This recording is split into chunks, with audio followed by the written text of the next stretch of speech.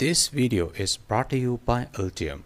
In today's episode, you will learn how to make an IoT-based security project using the Cayenne IoT platform, PIR sensor, and the most popular Node MCU ESP8266 Wi-Fi module. Maybe almost 90% of you guys might still be unaware of the Cayenne IoT platform. To be very frank, I also came to know about the Cayenne platform just a few days back and when I first started using it I was really astonished after seeing its unbelievable features. I'm quite sure you might be quite well acquainted with Blynk application which is a popular IoT platform. A number of other parallel platforms do exist for example Ubidots, ThingSpeak, Google Spreadsheet, IFTTT, Google Assistant,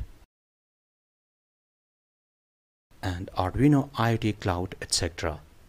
Believe me IoT platforms which I have just conferred the Cayenne platform is a perfect competitor for each one of these.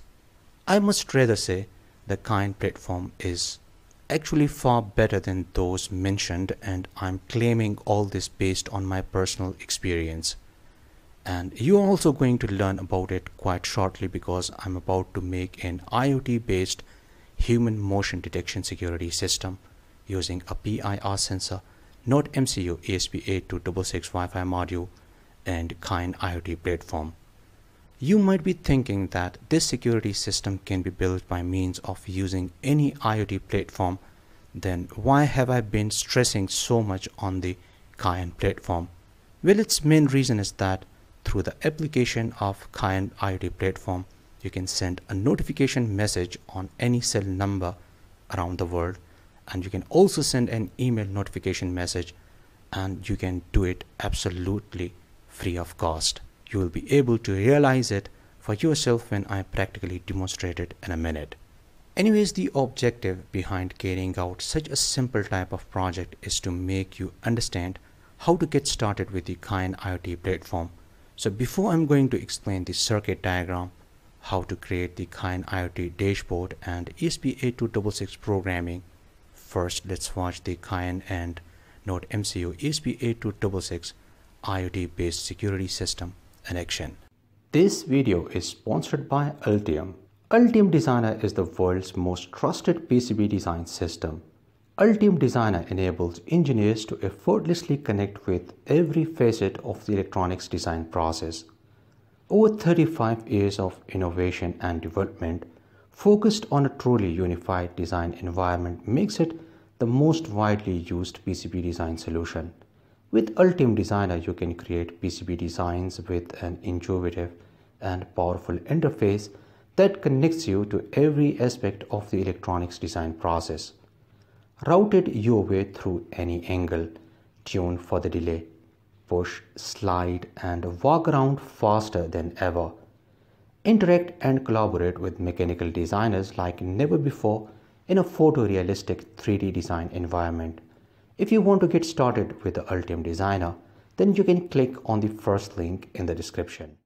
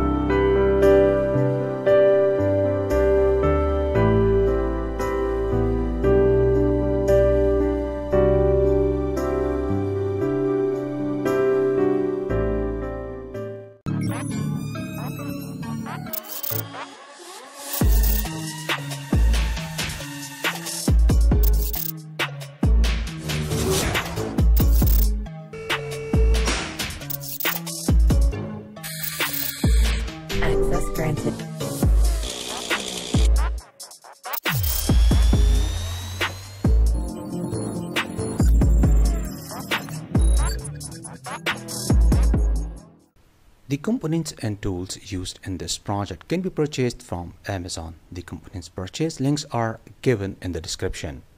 The red wire of the PIR sensor which is the VCC wire is connected with the 3.3 volt pin of the Node MCU ESP8266 Wi-Fi module. Yellow wire is the signal wire and is connected with the D0 pin of the Node MCU module.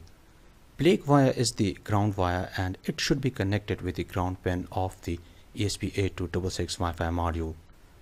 These are the minimal connections that you will need for this project. In case you plan to power up the Node MCU ESP8266 Wi-Fi module using your computer or laptop, which is good for the initial testing, but in the long run, you will need an external power supply. On the left side, you can see a regulated 5 volt power supply which is based on the LM7805 linear voltage regulator. J1 is the DC female power jack and this is where you can connect your 12 volt DC adapter, a solar panel, battery, etc. The input voltage should be below 28 volts. Don't forget to add these 470 microfarad decoupling capacitors at the input and output sides of the voltage regulator. I completed all the connections as per the circuit diagram and now let's start with the Cayenne IoT platform.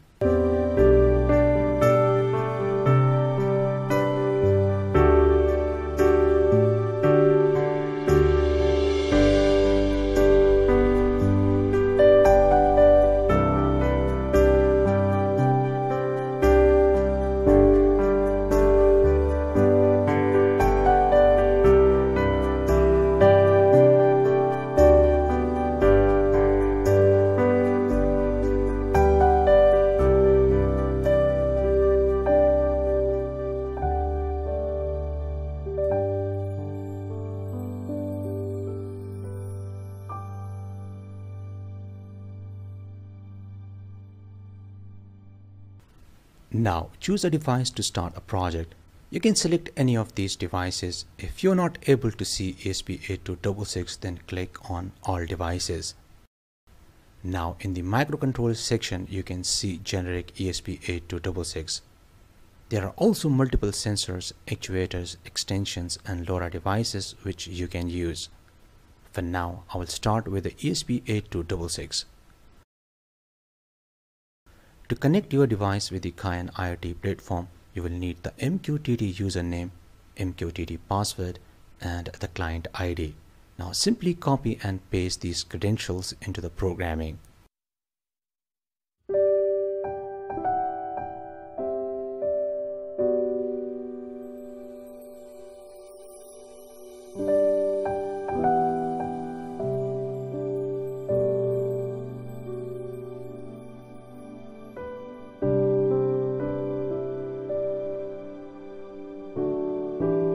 You can see it's waiting for the board to connect.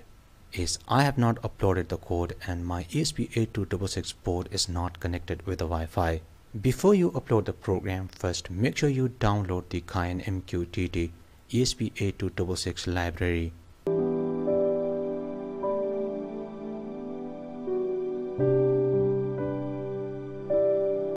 You can see I have already installed this library. Rest of the code is pretty straightforward. I simply entered the SSID and password. My PIR sensor is connected to D0 pin on the Node MCU module. I also defined a variable for storing the PIR value.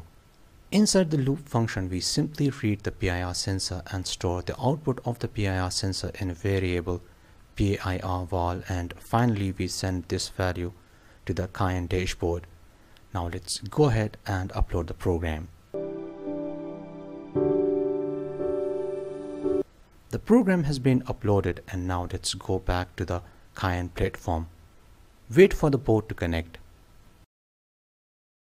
We are receiving the data on channel 0 which is also defined in the code.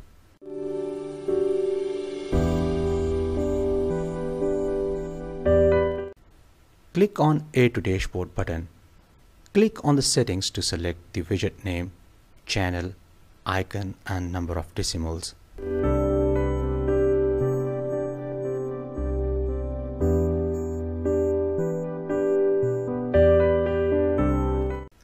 Again click on the settings and this time click on the trigger. Name your trigger. Next click on the setup notification. Enter the email address to which you want to send the notification message.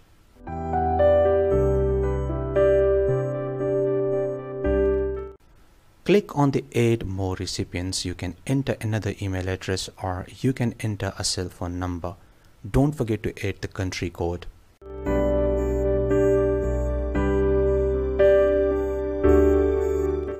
Finally, drag your device and select the trigger.